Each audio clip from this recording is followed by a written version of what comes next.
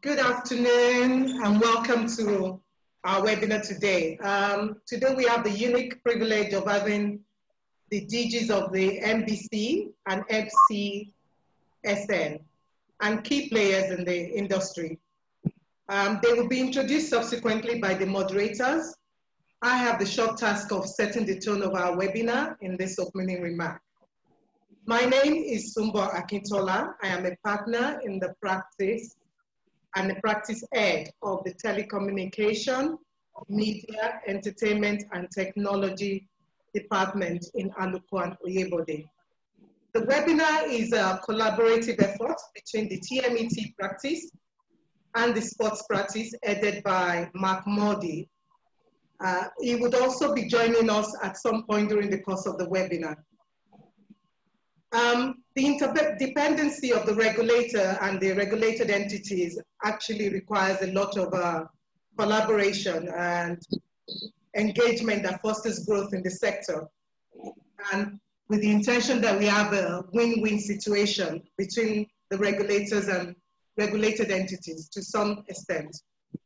So this webinar primarily is a discourse um, with the ultimate aim of achieving certain goals, uh, analyzing the NBC code, giving um, information as much as possible from both sides of the divide, and creating an understanding uh, with the objective of actually creating a, a robust sector and a very successful sector.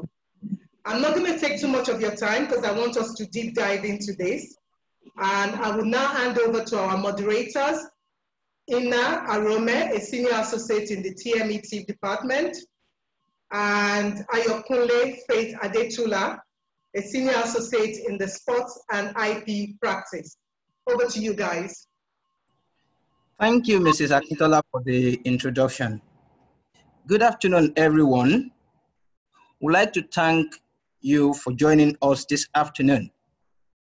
Before I proceed to provide a profile of our panelists, I would like to inform our participants that this webinar is being recorded. Very quickly, we will be running a poll and we humbly ask all our participants to take the survey within the next 30 seconds to one minute as we proceed. Some housekeeping rules. Participants will be muted during this webinar so that we can hear ourselves. And along the line, please provide your questions in the Q&A box. We would appreciate if you provide concise questions and possibly you may like to indicate who the question among our panelists is directed to. We will take questions from our panelists in the course of the webinar and as time will permit us. So this afternoon we have five panelists, as you will probably see from your screen, and we'd like to thank every one of them for making time out of their busy schedules to be with us this afternoon. Our first panelist is Professor Idachaba. Professor Armstrong Idachaba is the acting Director General of the National Broadcast Commission. Next on our list is Mr. Jason Njoku. Mr. Jason Njoku is unarguably one of Africa's well-known entrepreneurs. He's the founder of Iroko TV, and uh, one of the largest African paid services provider. Also, we have Mr. Nnamdi Obanya with us. Mr. Nnamdi is a sports broadcaster and a media enterprise consultant with almost two decades, uh, two decades of experience uh, in the industry. We also have uh, Mr. Baba Agba with us, who is the National Secretary of the Association of Movie Producers in Nigeria. He has over 10 years experience working in the Nigerian creative industry. And finally, we have uh, Mr. Mayowa Ayilaran, who is the Chief Executive Officer of the Music Copyright Society of Nigeria, MCSN. MCSN is a collective management organization and the single largest owner, assignee, and exclusive licensee of copyright in musical works, sound recordings, and ancillary rights in Nigeria. Now I would like to hand you over to my colleague, Ina Arome, who is a senior associate uh, with the Telecoms, Media, Entertainment, and Technology practice of the firm. Thank you very much. Thank you, Ayokunle, for the introduction. So we'll go into the discourse now. Professor Idachaba, the introduction of the amendments has been met with a lot of pushback from stakeholders, with several articles appearing in print media. Sir, as a DG, you have the unique privilege to give us some context on the rationale for these amendments, and perhaps also give us some response on why there's a disconnect between the NBC and stakeholders. Also, what has been the mode of stakeholder engagement on past amendments to the previous editions of the code? Hello, good afternoon all. Good afternoon, sir. The DG will join you shortly. Just give him um, 20 minutes, please. Thank you, sir. Okay, so we'll, um, okay, so um, thank you. Jason, um, the introduction of the amendments has been met with a lot of pushback from stakeholders with several articles appearing in print media. Do you think there's a disconnect between NBC and stakeholders? And can you please give your reasons? Was that aimed at me? Yes, please. Yeah, okay. Um, where do you want to start? So I would have preferred to go after um, Professor on this, because uh, again, I'd love to hear his thoughts. So I kind of feel a bit um, obviously surprised that he's been unable to join us. Bearing in mind, I know how much you guys have followed up on on making sure that people get here in time. So if you want, if you want to get a, a sense of the um, the energy of the engagement of uh, NBC to stakeholders, this is a perfect example of that. I think first and foremost, there have been no real engagement. To be frank, um, again, for the life of me, um, you know, Professor was, uh, you know, he's an acting DG. He started on the 21st of February. Today is the 7th of September. I, I, I strongly I'm strongly surprised that he was able to actually, you know, create this amendment, have it drafted, have it reviewed, and have it released to publications all in three months. If that is genuinely the case, I'm astonished and surprised at the speed of the NBC has been working, at least over the last 10 years that I've been uh, uh, uh, sort of part of the industry.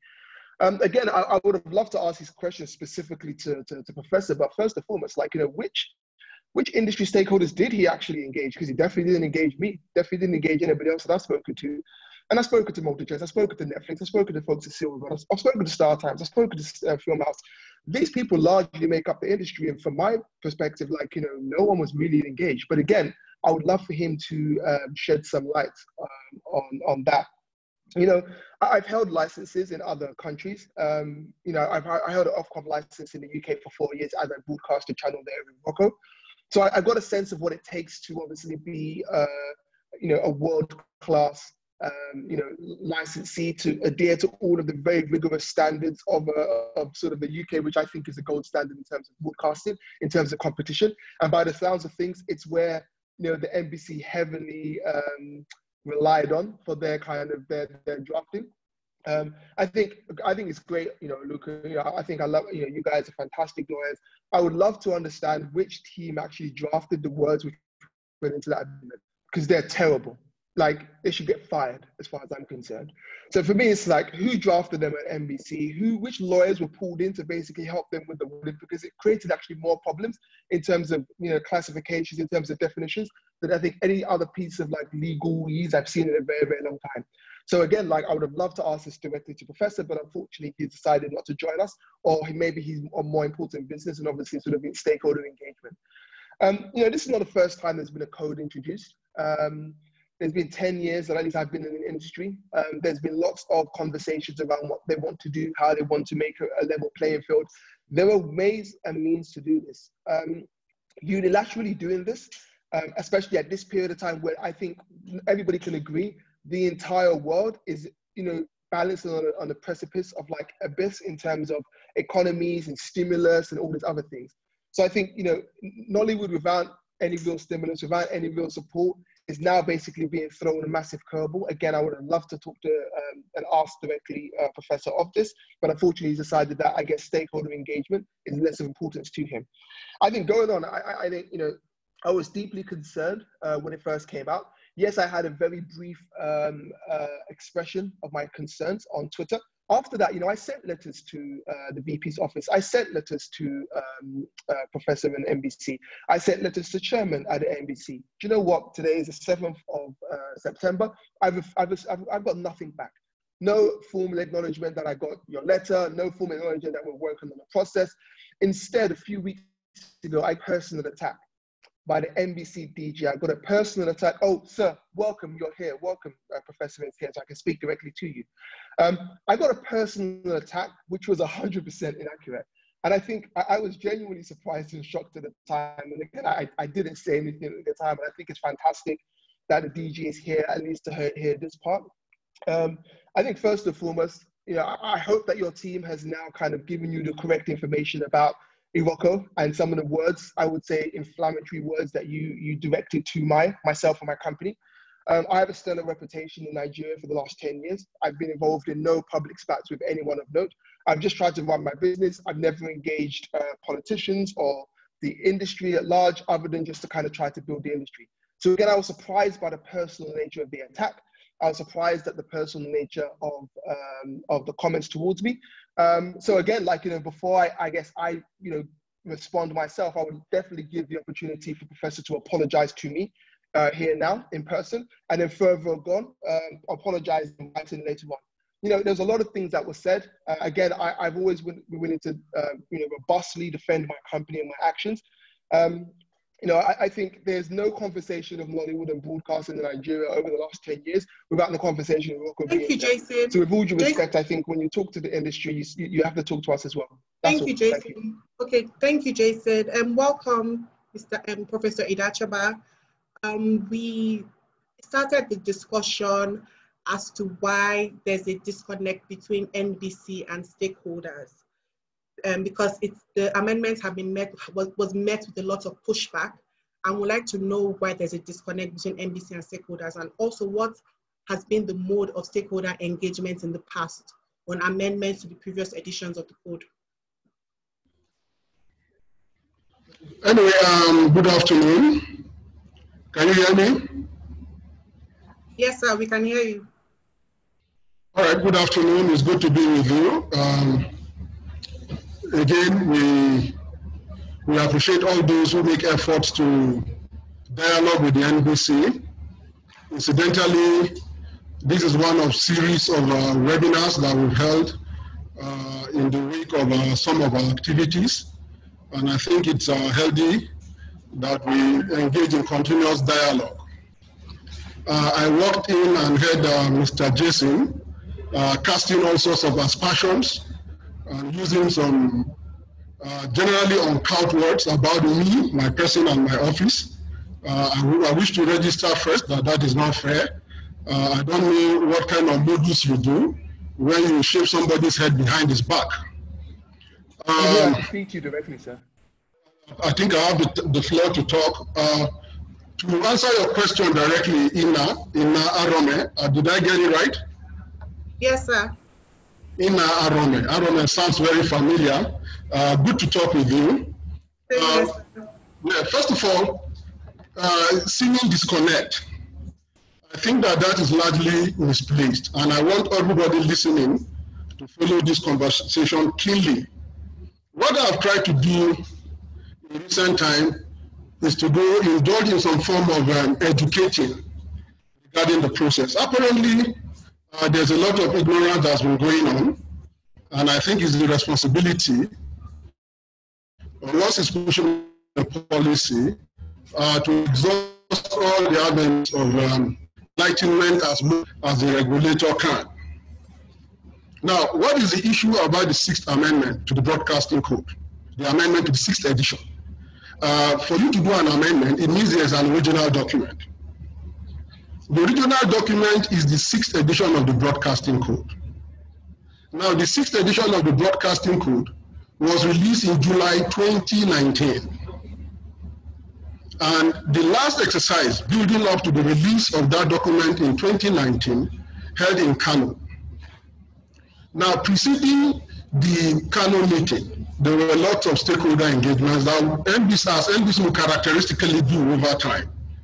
Right? We met in Kaduna, I remember once or twice, uh, before we went to Kano to validate the reports, and then after that, we came out with the sixth edition. Now, there's nowhere in the Broadcasting Act that actually provides that the regulator must invite stakeholders before you fashion a code. The Act clearly says that the NBC shall fashion, produce a broadcast code for the industry and disseminate same. What the NBC has done as a responsive broadcast regulator over the years is to do is to work towards inclusiveness, industry inclusiveness by inviting stakeholders, you know, to participate. I know of several regulatory agencies that don't organize stakeholder meetings.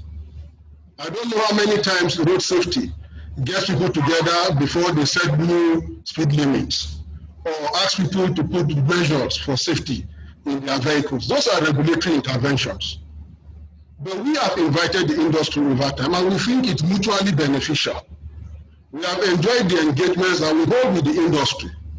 It gives us a background for information and knowledge. But all said and done, the prerogative is still on the regulator, you know, to come up with what it feels is in the best interest of the country and the industry. In this particular instance of the amendment, and I want everybody again to listen keenly, after the 2019, May 2019 elections, at a meeting of the Federal Executive Council, there was a there was there was some kind of uh, resentment regarding the conduct of broadcast stations uh, during the elections. And what was the issue? Speaker after speaker observed that there was a lot of abusive words, very inciting comments during the election, and they wondered what the NBC did you know, to check the trend. They also wondered whether there was no enough provision in the act setting up the commission or the broadcasting code that uh, the, to the extent that broadcasters, you know, were largely on, on restrained or on, you know, in the use, in allowing the use of uh, highly inciting, hateful, and uh, discriminatory comments. And the people now said, the people now, the government now requested NBC, you know, uh, requested the minister to set up an investigation. Part of the investigation, a committee was set up that was led by Bayo Onanuga, MD of Musa that came up with various regulation uh, suggestions, principally to look at the NBC Act, including the code, to look at the institution itself and see how it can be better positioned to perform its regulatory role. So it was from there that the purpose, the, the, the, the need to re-examine the code came up. And we, there was a lot of, even at that level, there was a lot of stakeholder investment, uh, uh, uh, intervention. We invited lots of people across the board. Even the NBC board was represented in that committee. And if you give me time, I'll mention some of the stakeholders that participated. The broadcasting organizations of Nigeria participated actively. They were represented by their president or chairman, Godfrey Onwabunwa, who was even the one that made the presentation on monopoly and exclusivity. Professor Tony Iradia was invited at that meeting and he gave evidence. Amechi Anakwe of Great Power came to meet the committee. He also made presentations. We wrote to virtually every every stakeholder, you know, to make representation. And uh, when we finished, we subjected those recommendations to a review session in Lagos even that was even at that session, uh, NUJ was present, BON was present, uh, Professor Ralph Akinfeleye was present, Danladi Bako uh, was chairman of that event. He was representing the board of the NBC. So we had wide stakeholder engagement, even when it was supposed to be a mere amendment. Thank you, sir. To, to, to, yeah. to, yeah. Thanks, sir. We understand that um, there was wide um, collaborate, does right stakeholder engagement, and although it is not within the act to um, have stakeholder engagement. As part of your inclusiveness with, for the industry, you decided to have a stakeholder engagement. Thank you, sir. Um, Nnamdi, do you think there's a disconnect between NBC and stakeholders flowing from what the DG has just said?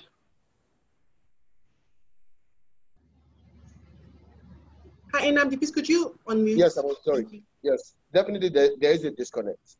There's a disconnect. It's, and it varies um, per stakeholder. Yes, he said some people were carried along, a lot of people were invited, but because of the amount of ambiguity that is still present in what is available, um, it means that there were still lots of people who were not involved. Um, once information is mediated and it's going from person to person, you will always get confusion. And that's why a lot of people probably don't feel carried along because of the information gap. There is an information gap. I've been on many sides of this table. I've worked for radio stations. I've, um, with respect to sports broadcasters and as a general manager of radio station. So I understand when these things happen and when people don't feel carried along. Um, yes, it's an amendment. Yes, there was an act. It's not too dissimilar from what was there. But with each improvement, somebody is going to uh, feel something, for want of a better term. There's always going to be somebody who is at a disadvantage. I can clearly understand um, the DG's frustration with feeling that maybe we don't appreciate the fact that even though we don't need to be carried along, they still try to involve us. But the truth is that regardless of what the act says, if you're making laws to affect certain segments of society, those people need to have some say in it. Because government, by definition, is a social contract.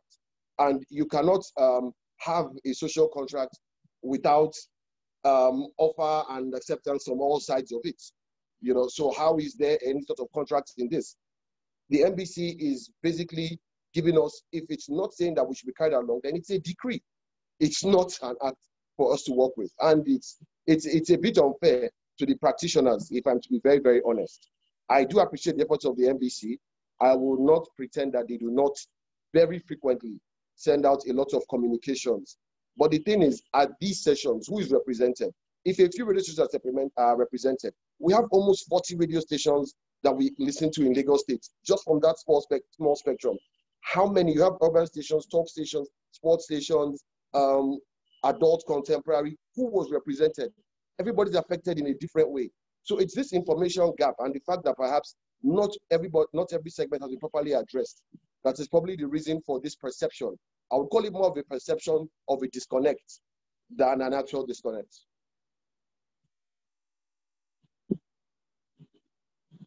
Thank you, Nnamdi. This is noted. So we understand that there isn't yeah, enough representation in the there isn't enough representation in the segment. Sorry, now let me just respond to Nnamdi quickly. Okay. You see, I appreciate, I appreciate the point about total inclusiveness. But I can tell you that I've been in NBC long enough to know that even when we publicize retreats and meetings like this, not everybody turns up. Even when we do trainings for industry, specialized trainings to improve skills, not everybody turns off. The stakeholder engagement we had in Lagos was publicized in the newspapers, three national dailies, right? And there's no way, like Nnamdi rightly said, you can bring into a room 400 broadcast stations and their representatives. People get busy certain times. Sometimes these things are coordinated at the levels of the unions. And that's why I told you that BON participated actively in all the sessions. NUJ was also involved. I don't see how the membership, the entire membership of the broadcast sector, no matter how well intentioned and how well publicized, will gather in a room. By the way, Making a code is about interest. There's no way you can have a holistic aggregated interest that's unanimous. There must be one or two people that are going to feel slighted or feel underrepresented or feel unprotected. And that is why government in its wisdom gives the power to the regulator to decide on behalf of the industry. I'm sorry I had to interject. We can continue now. Thank you, sir. No, I, I was done. I was done. I was done. Thank you. Okay, so um, I think we have uh, listened to the interplay between NBC and stakeholders. Uh, let's just look at some specifics of the code and uh, the interplay with even some other laws. in the country. Now, I mean uh, the Nigerian Copyright Act. And I, I, I, want to go to Mr. Ayilaran now. Uh, the Copyright Act confers exclusive rights in a broadcast to broadcasters.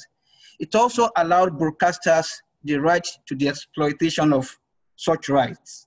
Laced with these rights is also the right to license the broadcaster's rights on favorable contractual terms with any licensee.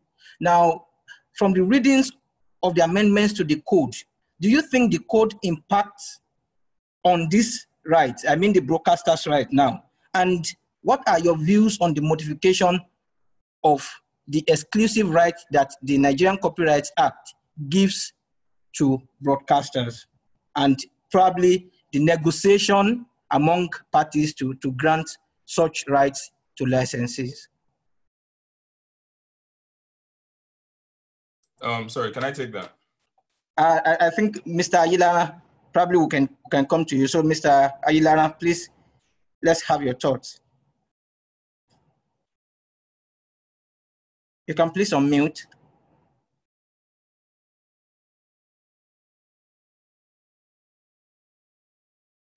Thank you very much, uh, Mr. Adetula. Uh, good afternoon, uh, the professor, Professor Idachaba. Uh, this is the second or third time we are meeting over this uh, uh, particular exactly. issue. Yes. Exactly, and I'm, and I'm, glad to see you again. Good afternoon, sir. Uh, good, afternoon. good afternoon to other uh, panelists, Jason, Nnamdi, uh, Baba Agba, the symbol we have talked earlier on, and uh, um, uh, my own reaction to your question is first, we need to understand the meaning of uh, broadcast. Because what is broadcast as meant or protected by the Copyright Act? This consists of the signal and the content as sent out or transmitted by the broker by a broadcaster. So when you have that signal and the content made by a broadcaster, then that broadcaster has an exclusive right to that particular broadcast because it constitutes what the Copyright Act uh, classify as an original work, that is original broadcast. So the broadcaster is the author of that particular broadcast. So that broadcaster has exclusive rights.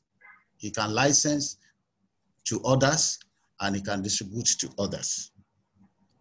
Or it can send signal by itself to the home or any other platform. But when you are now talking about another person taking that same broadcast to want to take it exclusively for the same purpose that the original broadcasters had intended, I think what the NBC code is trying to do is to make the work easily available to more users, I mean users, than a person who may abuse a dominant position or who may abuse monopoly. I'll give you the example of what has happened over the years with regards to Premier League signals or Premier League brokers. From the beginning, if you see those of uh, broadcasters who are claiming rights to this, they didn't contribute anything to the, to the making of those signals and the broadcast content. They only went to the market, take it wholesale, then keep it under their sword and sell at whatever price they want. Even when local broadcasters wanted it, maybe I have uh, a transmitter in my village and I want to leverage on the rights that you already have to broker, I mean to have and distribute to my village people at a reasonable cost. The abuse of uh, a, a dominant position coming and uh, the, the, the, abuse of monopolistic tendency comes, whereby the person would not even allow me, And then the next thing we see is that the man himself will go to that village trying to set up his own uh, something. I think this is what the NBC code is trying to uh, guide against or to rectify. But when you go further to look at both the Copyright Act and the Broadcasting Code, the question then arises that can that code oust or limit a right granted by the by an act of National Assembly? Because exclusive exclusive uh, exclusivity rights is granted by the uh, Copyright Act, but I don't know whether the National Broadcasting Commission Act. I have not really, you know, gone to study the Commission Act uh, holistically. Whether that act also legislates on exclusivity of rights with regards to their uh, their control, their exploitation, and so on and so forth. So on that note, I will, my own suggestion will be a, a deeper consideration of the Nigerian Copyright Act with regards to uh, exclusive rights of a, a, broadcaster and the National Broadcasting Commission Act on that same subject. And once we are able to do that, we can come to an open ground. But I must commend the NBC for what they are doing. What I have seen personally in the broadcasting code is to engender national creativity because what we have is that we have people going abroad, taking all kinds of program signals and dumping it on Nigeria. But we have we are having a situation whereby even when they do this, they dictate the price. The common man cannot even access it. All these are think I think are behind the thinking of the NBC and even the BON. And just like the the the, the, the uh, professor said, I hinted our users, many of our broadcasters, recently we organized a webinar for broadcasters. Out of the people, many broadcasting stations that we invited, only a handful of them attended that webinar. And tomorrow they'll be shouting that MCSN is imposing tariff because they are not alive to their own uh, responsibility. They claim to be busy, but they are not looking at the legal aspect, the real monetary aspect of their business. So I, I will say my own, the way I see it, but that is the situation. We have that seminar. Many people were even followed up by phone calls, but they didn't come. And it has been our experience over the years when the government government agency will do anything seminar or something at the opening day and the opening session you see quite a large number of people but when you now go to the business session only a few of them attend. I have attended broadcasting organization uh, uh, uh, general assembly. Many of the broadcasters that are supposed to be there with their own association, they don't, they don't attend, not to talk of uh, uh, uh, making contributions. But when the BON itself comes out with a decision, many of these broadcasters will go ahead to be challenging BON. Who gave them right? I am the owner of my uh, broadcast station. Things cannot be done like this, and we believe that, I mean, we, we, we expect to go forward. No. So we need to address ourselves. We in the private sector, we need to talk the truth to ourselves. And we should not take government agency uh, as a bashing object every time we have this kind of things. So I will stop there because uh, concerning what I've uh, said, the only issue I have is that can that code oust the provisions of the Copyright Act? Otherwise, it's a good, it's a good uh, means of expanding the scope of exploitation. And when the scope of exploitation is expanded, then the room to make more money is there. Thank you. So it's just like it's just like what we have in the Copyright Act under compulsory licensing the law says that you must make your work, once it is outside there, available to anybody who is interested at a reasonable cost. If you do not do that, the law will take a course that it can be licensed compulsorily at a price that is uh, fair to the, to, to the habitat, which is the regulatory authority. And you can't do anything about it, really. So thank you very much. Thank you for your thoughts. Uh, we, we, we quite appreciate that. And uh, I think uh, uh, Mr. Agba wanted to quip in earlier. So I don't know if he wants to do just yeah. one or two thoughts and then. Hello, everyone. Um, good afternoon, and thank you for having me and being here.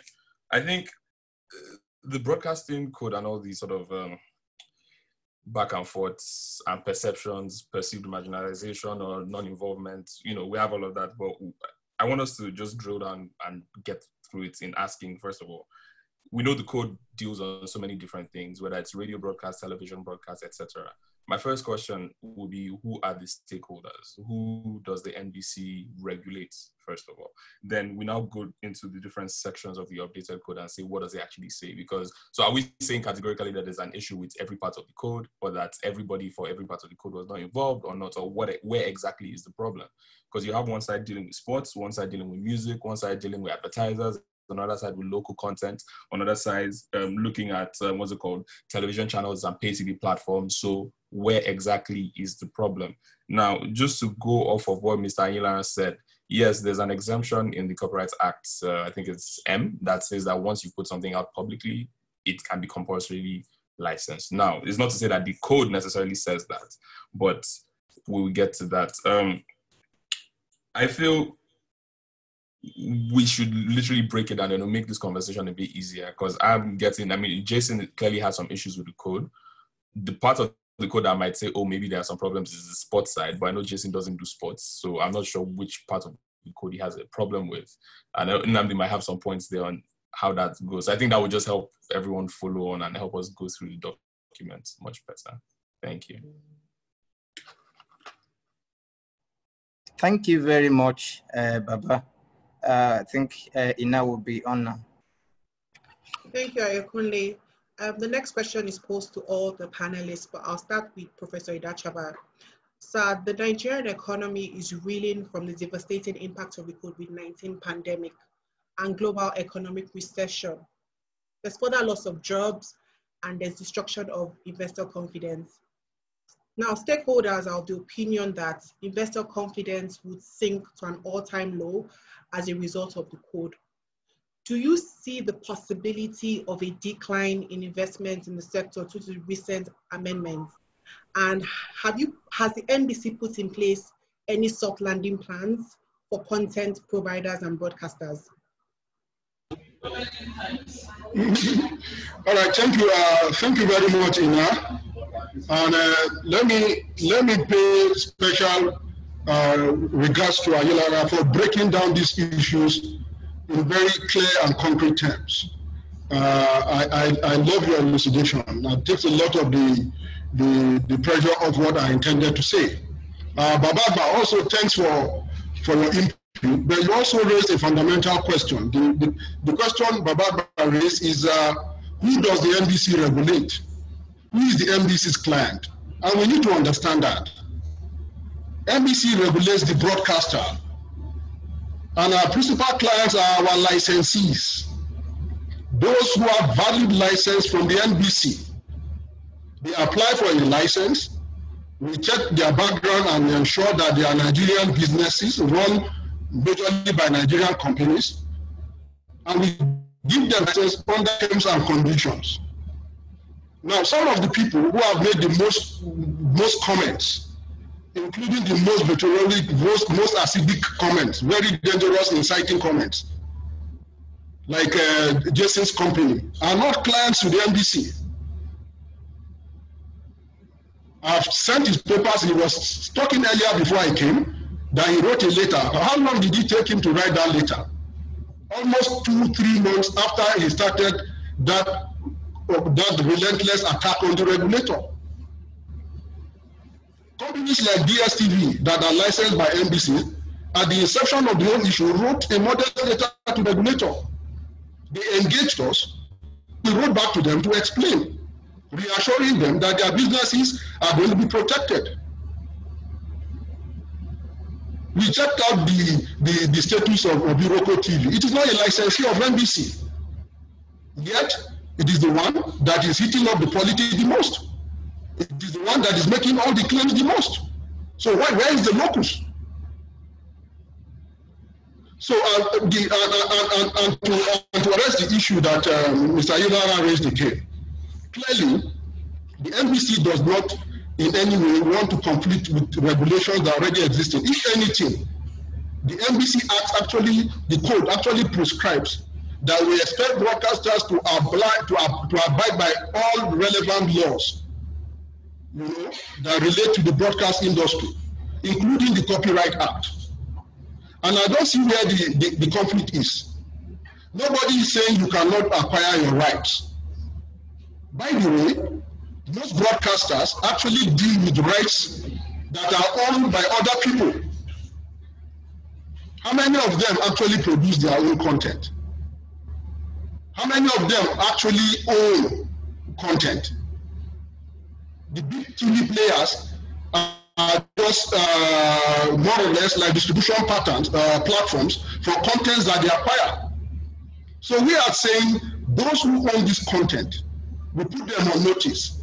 If you are giving to a broadcaster in Nigeria, understand that this broadcaster will be obliged to make it available because we want our own local industry to grow. We are saying our broadcasters cannot acquire content from any source and warehouse and use their broadcast channel to enrich other organizations that are not contributing even minimally to the national economy. We are saying content acquired for the Nigerian territory must be made available to the general educational entertainment good of the ordinary Nigerian. I give you an example. Every Saturday, even with the EPL, where windows are created for terrestrial television, you know how much economic activity that generates for the little, little players that are in the villages that put their curtains behind the walls and charge people to come and watch? Or even local advertising that goes to the local terrestrial stations when those little windows are created. Thank you, sir. Thank you, sir. Thank you, sir. This is noted. Um, I'll just go back to Jason. Jason, please, I would like you to um, respond. Um, Baba said that the code doesn't affect, you want to know how the code affects your industry. Could you please um, give us insights to how this affects your industry and also let us know what the, whether there's a possibility of a decline in investment in the sector due to the recent amendments? Yeah, no, so first and foremost, I think um, there's been some really interesting uh, conversations here, right? Um, I think first and foremost, like, you know, the facts are that over the last five years, Iroko has easily been one of the largest investors in Nigerian content in existence, right? So we've spent in excess of $25 million. That has gone directly to Nigerian production houses, Nigerians, again in Lagos, Enugu, Asaba, Abuja. It's gone throughout the entire ecosystem, right? Um, now, granted, we are not a client of the NBC, but ultimately we are um, ultimately, uh, I guess, one of the largest people who are ultimately going to be impacted by this, right? So again, um, I'm a Nigerian. I've got a Nigerian passport, so I like to think that I'm as Nigerian as everybody else here. Um, first and foremost, I think secondly that um, so when I when I commission or I produce a piece of content, um, that piece of content is Nigerian content, it's Nollywood content. That piece of content arguably is some of the most popular content in, in, in Nigeria. Um, does that fall within the, the, the, the, the new amendment? From the first reading, it does. Now, again, it then becomes a question of, well, well, if I can't um, at least exclusively try to um, exploit this content over a period of time, um, and if it's available for everybody, then then why would I why would I invest the tens of millions of dollars I do over a period of time to do that? And I, I, think the key thing is that you know there, there, are 700 broadcast stations. I think they will all individually participating in this industry. I think that's fantastic. But I would love to see how much they're spending and investing in the industry, and if not, why. So I, I think the key thing is that um, from from my perspective, it's what is the point of investing if ultimately I will be compelled to share that content with everybody? And if, again, what a commercially sensible price may be to me and to the people who have obviously commissioned and paid for that content, um, may not be this, but may not equally be um, uh, affordable, I would say, to the large number of participants who are currently in the market. Um, so I think from my perspective, it's, you know, we talk about, again, we talk about stakeholder in, in engagement. Um, you know, the biggest people who were impacted by this were ultimately the producers of again, sports is one thing. I'm not talking about sports. Um, that's somebody else's sort of battle to fight. But in terms of you know the Netflixes in the world, I'm, I'm pretty confident they weren't um, they weren't engaged. You know, myself wasn't engaged. Um, Africa Magic, I'm pretty confident were not fully engaged. Um, there are a whole bunch of other people. Film House weren't fully engaged. So just for people who actually produce Nigerian content, as who are Nigerians who are incorporated in Nigeria, who are obviously trying to, off their own sort of personal backs and from investors, build an industry here. Um, it's created a huge amount of a lack of clarity in what the actual um, future of you know their protections and their ability to produce content in the first place. And let me be frank, like it, you know, my investor is Canal Plus in French speaking Africa, right? They understand and they know what the what the game is like, right? My other investor was was uh, was the lead investor in GoCarter, so they can see what when regulatory winds change, what happens to businesses in Nigeria. So you can imagine, like you know, their their appetite to increasingly invest in Nigeria has definitely dimmed over the last few months since this uh, lack of clarity came to be. So again, I can only fight my own fight. My fight is purely on again, I'm producing Nigerian content. That content is incre- increasingly popular in Nigeria. Um, the the definitions um, and the amendments um, and the engagement, at least with people who create content, I, I just don't see what's there. Uh, I could be completely wrong. Um, and again, just just to sort of go back to um, sort of Professor, I'm not a client, but then when the NBC specifically targets me and my company, I'm due a response, right? So if someone says a few weeks ago that Iroko is based somewhere else, Iroko is costing off huge amounts of money, which again, just to be frank, is couldn't be further from the truth. And I think, you know, 10, 15 minutes of investigation of Iroko TV in Nigeria or Iroko TV in the UK, you will see there are tens of millions of dollars of like net operating losses over the last 10 years as we try to build the business. So when you specifically say things which I know, and anyone who was to go and research know are categorically incorrect, my expectation would be that perhaps someone clarified that, perhaps it's an apology, perhaps that's followed up by a written letter saying, hey, you know what, Jason, we made a mistake here. You know that client, some of the things we said were, I would say, wrong. A few months ago, I did share some of my concerns about the NBC and the code. Beyond that, I've said nothing. I've literally said nothing until obviously, like, you know, I, became a target, as I like to think, um, of, of just like, just untruths, right? And I think that that is sort of where my concern is coming from. If you can get the fundamental um, nature of Iroko and how we operate incorrect, then what are you regulating? What are you putting out there? So I guess my perspective remains the same. Um, I think this required a bit more uh, engagement. It required a bit more um, uh, sort of feedback, and more importantly, like in terms of just the legal drafting, I just reiterate, it's just so unclear it, it, this, this, this was written incredibly well and it was well defined, I could understand it. But it's it's so unclear that it creates more questions than it actually answers in the first place. Okay, I'm sorry. Let me just chip in since I asked the initial question. Um, thanks, Jason, for the response. And I would say, first off, I mean, you still haven't said exactly when the code affects you and how it negatively affects you. That's one point. The second point is I'd ask you, have you actually read the full NBC code document that's about 160 pages that has all the definitions at page 126? The third point, you, you open up a kind of ones. I mean, you and the NBC DG, there's this sort of back and forth that, you know, sort of, I'd say the genesis was your initial first comments about the code online. And, you know, now you're saying stuff about making money in Nigeria, taking it away and the rest. And I guess I kind of have an idea what the NBC DG is referring to as a content producer probably coming from how you commission and your commissioning sort of practices, which going by you said you have Ofcom licenses in the UK, you do business in the UK, does not follow general commissioning conventions in the sense that, like the NBC DG mentioned, content creators, the producers are the people that are vested with the primary first IP that are then transferred to broadcasters on a licensing basis. But in your own scenario, you basically do not share sort of IP with the producers going forward. So I guess that might be what triggered his comments in terms of the cutting money away in terms of um, syndicate. Baba, Baba, Baba, Baba, thank you. Um, I'm going to release the letter. Listen, just, just listen, clear, let me release listen, the letter. Can I, so, no, let, let me release the letter. Right? Okay. I'll release the letter. It's fine.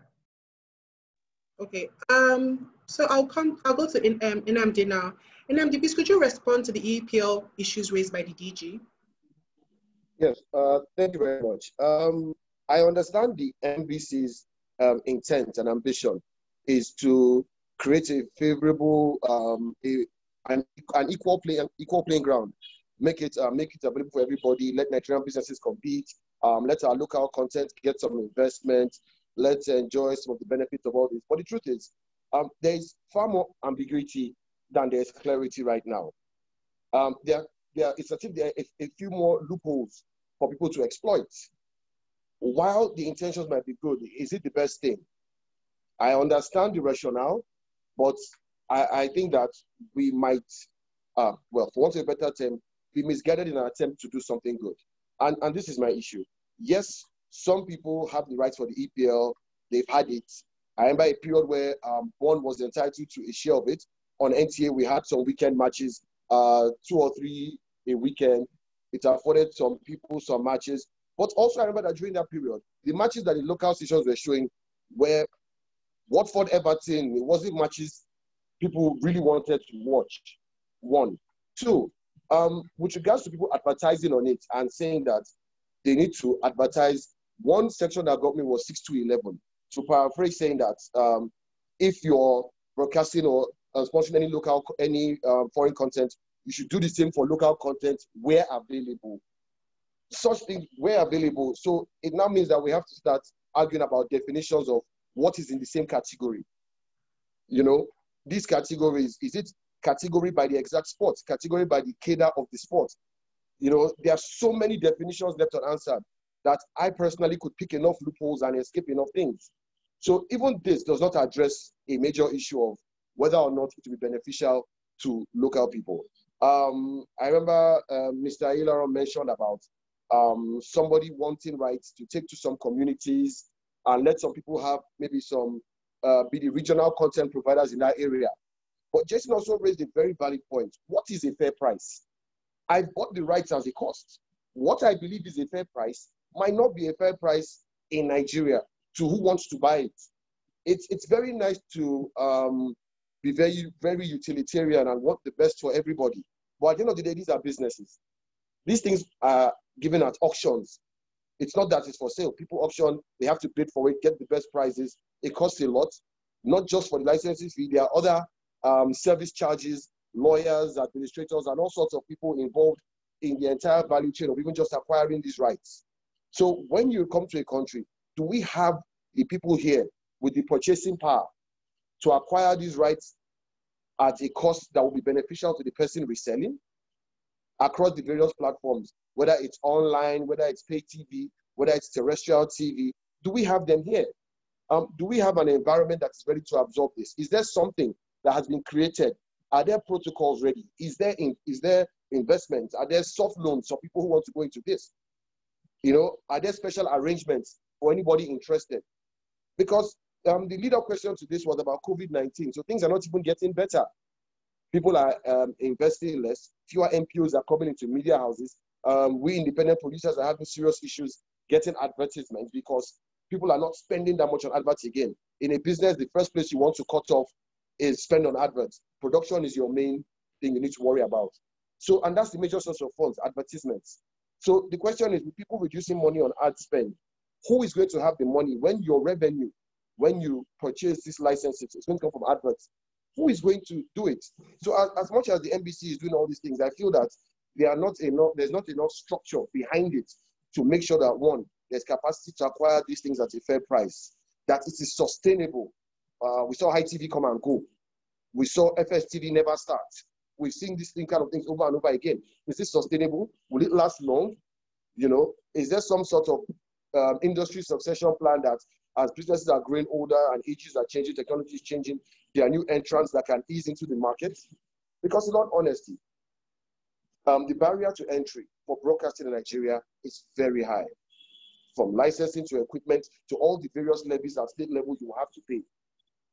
You know, I don't want to derail too much, but one thing I will say that was a positive from this thing was the payment of adverts, uh, payment of adverts, payment for adverts rather, because it's a major problem. I mean, you have to wait 90 days after termination before you can pay.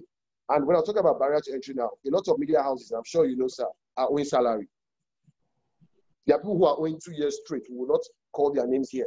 But they are radio and television stations. So now, if we are coming into this environment where advert agencies don't pay till 90 days after termination, and it's after 90 days, they start talking about compliance issues. The back and forth happens.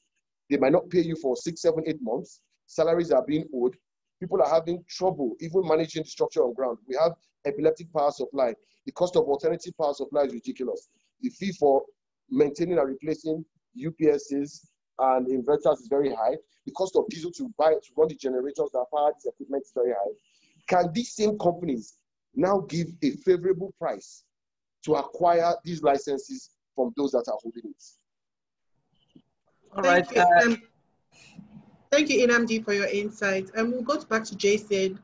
Jason, could you please respond to Baba's questions? You're, you're about to speak and then I interjected.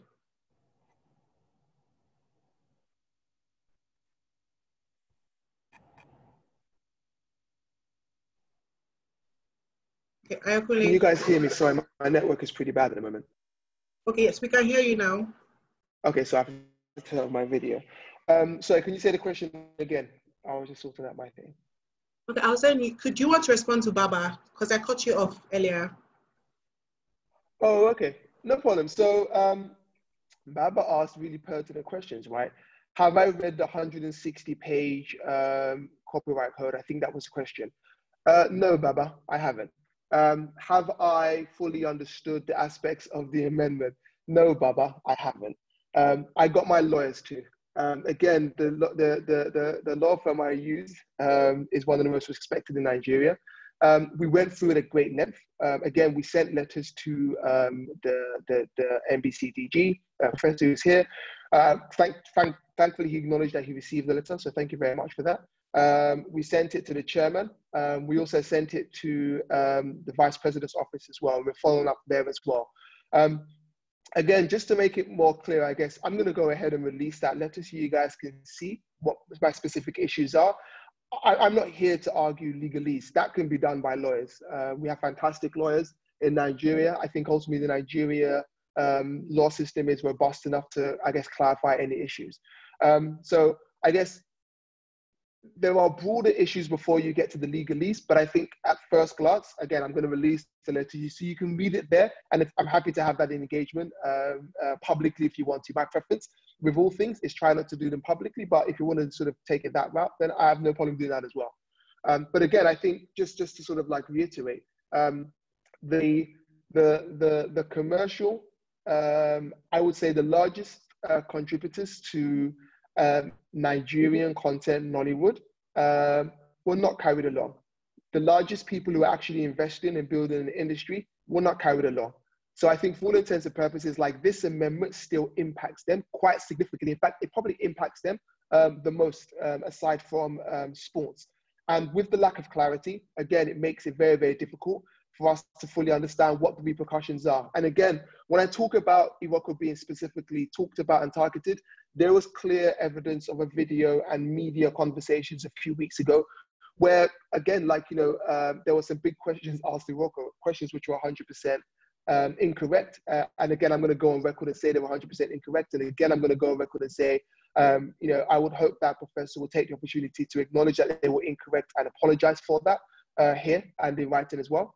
Um, so Baba, again, you know, the, the, the code has got pushback from the large majority of people. Um, and again, there's been numerous webinars that I've sort of like listened into. Um, one as early as uh, Saturday, um, where again, some really distinguished people genuinely were like, look, this thing, you know, has a lot of ramifications. It's not very clear. It's incredibly um, um, um, um sort of difficult to understand and its repercussions, etc. So if you want to specify making any work thing, I'm happy to do that, but I'm happy to do that because I've done the work right. But I'm not going to sort of have this conversation right now. But no problem. I'm about to post it in about five minutes, so we can take it from there. To answer your question, Baba. Thanks. I'll, I'll, look online to see. But why why I asked that question is this, right? I, I I've spoken with a bunch of producers, different people across different sides of the argument, and I what I find or it's, it's sort of uh, what I would say is a misunderstanding of the code in the sense that or misinterpretation of the code because if you're like you said, there's the legalese side and everybody pushes it to lawyers, right? Which is one thing. You might not understand it without the broadcast background. And if you read it just with the broadcast background, you might not get it because going through, I think one of the sides that you had if I'm, I don't know if I'm right, but you had pointed out before where it goes on the wholesale offer. It's referring to channels, not content, and talking about pay TV platforms and entrance into pay TV and them having access to content creators have been dragged into this whole discussion because content creators license to broadcast channels who are broadcasters, and then broadcast channels license to broadcast platforms who are broadcasters as well. So maybe it's the confusion of the two broadcasters that are both referred to as broadcasters. But again, that's why I asked you specifically how it affected you or what your issues were, because in my view, it works for content creators because the channels are available on more platforms, which means more eyeballs, which means more ad revenues, which means higher licensing fees and just better opportunities in general. But um, I'll check your letter and then I'll respond to the specific points you highlight on what your issues are. But thank you for the. Okay, thank you very much. Um, I think I'm going to uh, try to get Mr. Nnamdi again because of uh, the industry uh, experience that he was uh, mentioning earlier. Um, the code requires uh, prime foreign sport, sporting content not to be broadcast unless prime local sporting content has all, also been acquired by the broadcaster and it, it, it brings in some percentage. Now, uh, for, for the Nigerian market, there seems to be some obscurity as to what the, the, the, the amount of getting prime foreign sporting content is. So how, how do you think this would actually play out uh, in reality, uh, given that you have some considerable experience uh, within the sports industry? Yes, Th thank you very much. Um, I've been going on about ambiguity, and this is another area. Um, we know that uh, Super Sports has for Sub-Saharan Africa. We know that beIN has for Middle East and North Africa. But I cannot, with any honestly, any honesty, tell you that there is a certain figure anybody knows is the cost of EPL rights or any rights for Nigeria alone. First area of ambiguity. So if you're going to use that to even calculate what you should put into foreign local content, you have an issue. So the first issue there is the issue of transparency. Do we have the actual figures? Do we have the actual numbers? That's the first step. When that is sorted, there's also the issue of uh, premium local content. How much is there? You know, we're having a chat earlier, and I said if this was when I was a kid with Mobil track and field and everything, there is if you get the IAAF Diamond League, you get the Mobil track and field. You know, you get the Tour de France, Giro d'Italia, you get your Nigerian cycling tournament. There is so many, there's so there are so many um, sporting activities that do not have replicants in Nigeria. The same thing, if you even agree that there's a percentage of what SuperSport claim is the rights for Nigeria alone. What Nigerian sporting content can request 30% of that? What we have here, I think those right holders, a lot of things are out of their control. One, the NFF and the NPFL run the Nigerian football leagues from the, the sorry, the LMC and the NFF run it from the NPFL, the NNL down it's not the, the it's not within the uh, purview of the rights holder. All they can do is come and buy TV rights for it. The same thing with advertisers. If the leagues are not holding, the leagues are always abridged. We always have tussles in our sporting federations. The AFF has two rival factions. The NBBF has two rival factions. You know, we had the Giwa and Pinnick faction for a long time. All these things are out of the control of the rights holder for foreign sporting content. So now, what do they do in this situation? So this I meant by ambiguity. There are so many things that are not covered. If you're demanding that they purchase premium local content, then our local content has to be available. And in all honesty, not enough of it is available. If we're to put local content, even Nigerians um, friendly matches played in London, rights held by foreign, a lot of the production team. If I look at what comprises local content, the production team, are they Nigerian? The actors in it, are they Nigerian? The only thing Nigerian about most of our friendly matches is the Super Eagles and their coaching staff.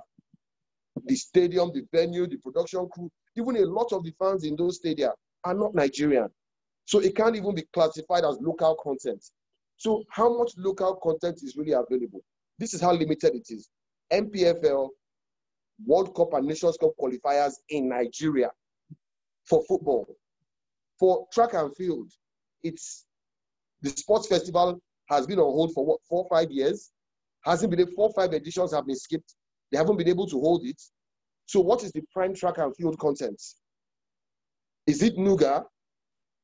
The closest we have to anything concerning tertiary sports that is well organized is the higher institution football league, which is run by a private company. And in all fairness to a brand like Super Sports, they are the media backbone of that. You know, so so there's so again I come back to this ambiguity. We don't have enough content, you know, which is out of the control of the rights holder, out of the control of the advertisers, because first of all, the federations which are autonomous, we've seen what happens when sometimes government tries to directly interfere with federations. You interfere with the AFN, I, IAAF will step in. You interfere with the NFF, FIFA will step in. So even the government has a limit to what it can do. So if a lot of these things are out of control of the right holders and the advertisers, how can we now bring certain um, parts of the code and insist on certain things that are not honestly feasible in the immediate future? All right, all right. I, I, I, I hear you talking about no good local content and, and all that, and no, a lot enough. of written. I, I, I think not I enough, think, not no good, not enough. Not enough. Okay, not enough. okay, great. Now, now, so I, I think what, when you talk about the ambiguity, the, reg, the regulator would have uh, some thoughts about that. I mean, because I, I want to believe that they would also have this at the back of their mind. But I, I would I would let Professor uh, respond, but I want to just add this so that Professor can take both together. You know, it's it's a major cause of concern uh, that uh, when when you try to acquire rights for broadcast of events, or let's say in this case now, live sporting events available to uh, other broadcasters through different channels, you, you want commercially agreeable rates. In an event where parties are unable to, you know, agree, somebody holds his, everybody holds his own end of the stick. How does MBA resolve issues like that? And, and then, what would you consider to be the parameters, you know, for determining the, the, the price that these things will go for? Let's, let's have your uh, thoughts on that, and you can then take some of those ambiguities and just roll it into a ball. Yes, thank you very much. Thank you so much. Uh, I appreciate you. Uh, let me let me commend Nnamdi for his depth of knowledge about the broadcast industry. Uh, apparently, um, you're quite knowledgeable, and uh, I'm impressed. Uh, but let me also um, join your last question with what Nnamdi, or the point Nnamdi has been trying to make all the while regarding uh, what he calls ambiguity uh, I like the point when he, he, noted that a major problem with the with the industry generally is lack of existing sustainable structure, right? And because those structures are not there, for instance, uh, verifiable data, uh, means of financing, uh, and, and, and, and once some of those foundations, critical foundations are not there, of course, uh, you are likely to find uh, what uh, Nnamdi refers to as some of this existing ambiguity. But I think the base of it all uh, is, is, is, is, all intent and purposes, lack of transparency, uh, which uh, in itself is not just uh, a broadcast industry malaise, it's, uh, it's something that has existed in several subsectors of the economy. Uh, mentioned, for instance, the collapse of uh, FSTV, uh, the collapse of uh, TV and several other pay TV uh, platforms that attempted to come into the broadcasting landscape. Uh, some of the reasons why they didn't survive, basically, uh, principally uh, due to monopolistic tendency, big people who wanted to elbow new entrants, but also additionally, you'll also find out that um, in terms of negotiations at certain times, um, people didn't come straight and clean.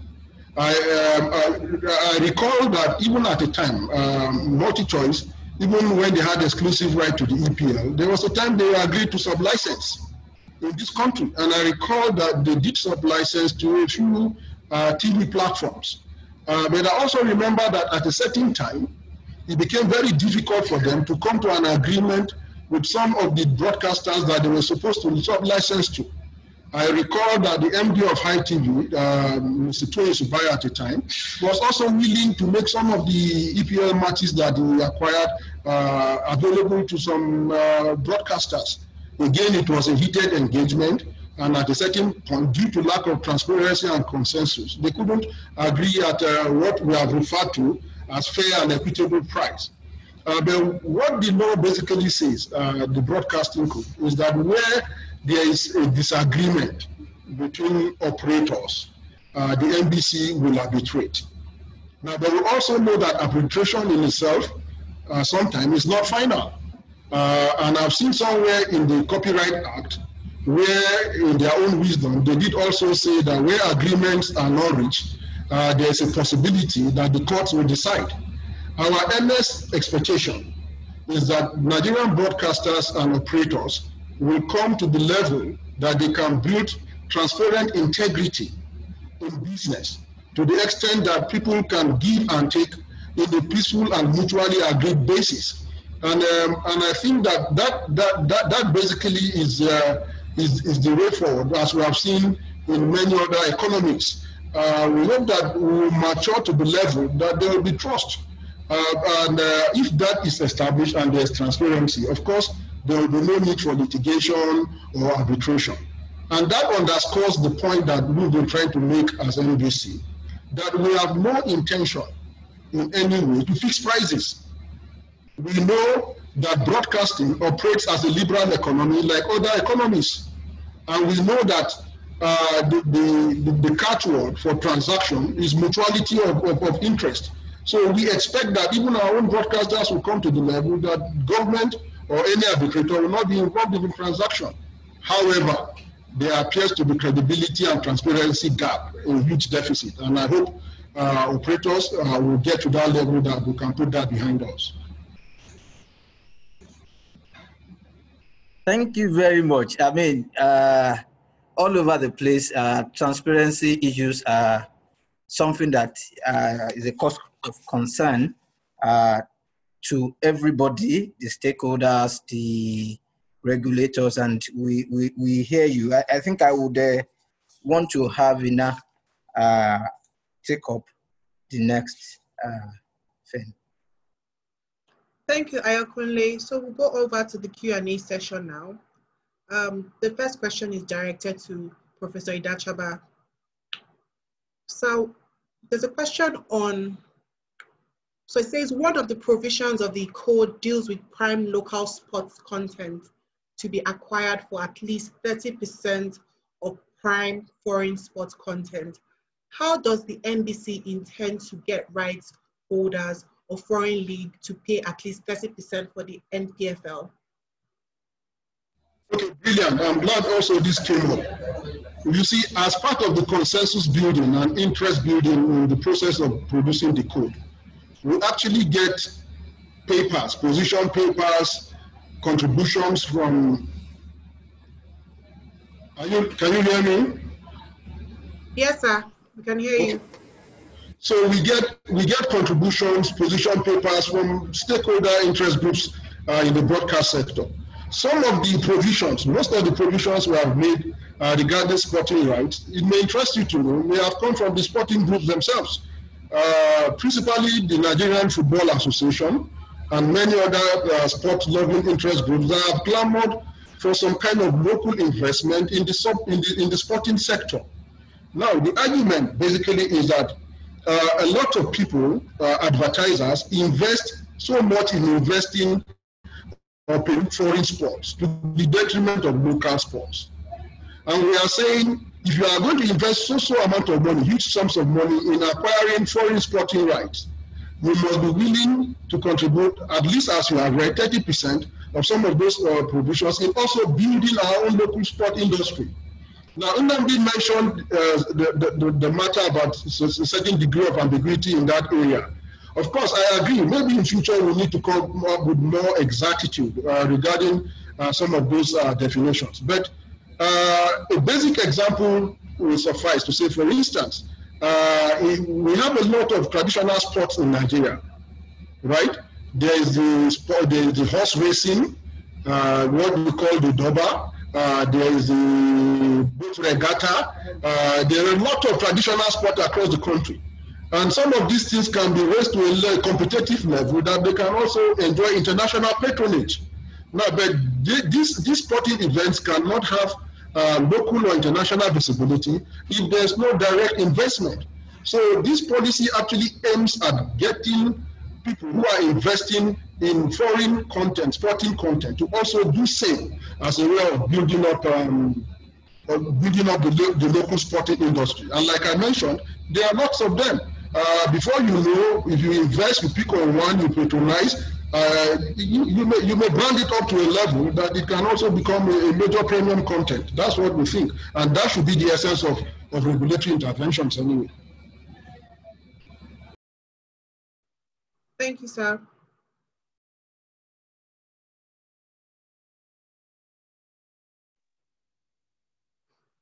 So the next question is for Mr. Ayilaran. Mr. Ayilaran, does the, there's a, the question is, does the Copyright Act provide for a blanket compulsory licensing of all copyright works. The fourth schedule relates to compulsory licenses for translation and reproduction of certain works. That is literary or dramatic work for teaching, research, or scholarship. Does preventing exclusivity for sport or some other content for entertainment on pay TV actually amount to this?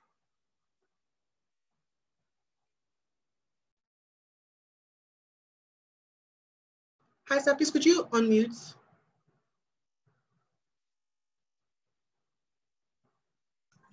Uh,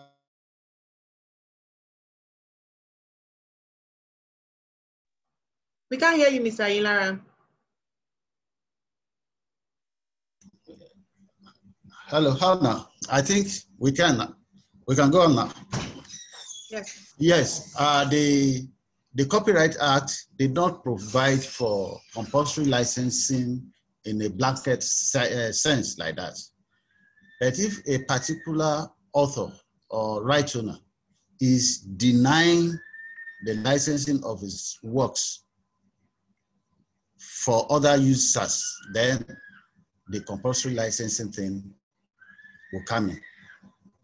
So it is not on a global scale like that. It is on, I think, a work by work basis or a right by right basis. If you have made it available to A, then you should be able to make it available to me at this, on the same terms and conditions upon which you have made it available to the others. And I think this exclusivity thing is also there in many nations of the world. For example, in the US, many of the rights we are talking about here are not exclusive. They are issued on the basis of non-exclusivity. And I think that is the same thing we have in the European laws. And the essence of this is to make it available to anyone who is really interested. And it also means more money to the right owner.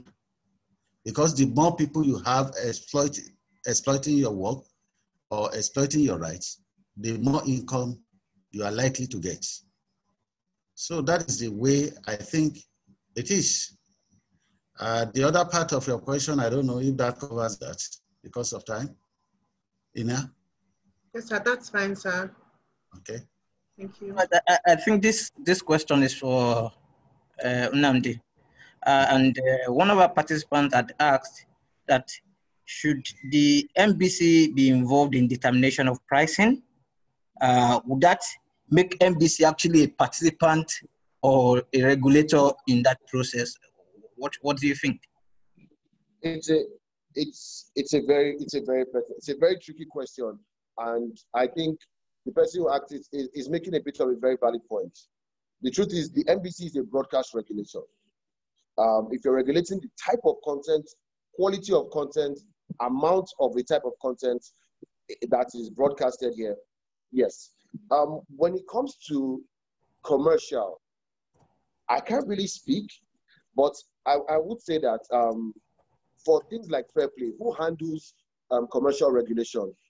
We have um, apex banks, regulatory bodies for things financial, things commerce, trade and industry. We have such bodies. Um, if the NBC is looking at a thing of oversight with respect to how foreign broadcasters are treated, yes. But I, I, I think um, to an extent, I might have to agree with the um, person who asked the question that perhaps the NBC should not be directly involved. Oversight, yes. You know, I, I think the NBC might be able to explain to us better. Again, ambiguity. I'm not sure to what level the NBC is involved in the pricing. You know, I cannot say they did not meet stakeholders who said this is what should be priced at the end of the day. So that is where it comes in. So I think honestly, the NBC will be in a better position to say which stakeholders were consulted before an agreement was made on what kind of pricing structure there should be. Okay, thank, thank you very much, Nnamdi. Um, I think we've had a very fruitful discussion today. There are questions uh, that are still popping in that we've not been able to take during this time. We'll get some of those questions, uh, we'll get those questions to our panelists, get their responses to uh, those who've asked those questions so that they can clarify. At this point, I want to call on the partner in charge of the sports practice in the firm, Mr. Mark Mordi, to give a vote of thanks to our panelists and the participants on this webinar. Mr. Mark. Good afternoon, everybody. Uh, I was uh, I was fascinated by some of the arguments that were presented during the course of the webinar. There were there were fascinating arguments, animated, and and you know all the participants, uh, the DG, um, Nnamdi, um, uh, Baba, um, Mr. Ayilaran, Jason, all of you brought to the table your wealth of, of knowledge and expertise. You know, you brought it to bear on this topic, and, and I cannot help but say, gentlemen, very well done. Uh, you guys did a fantastic job. So please keep on, I mean, expect questions.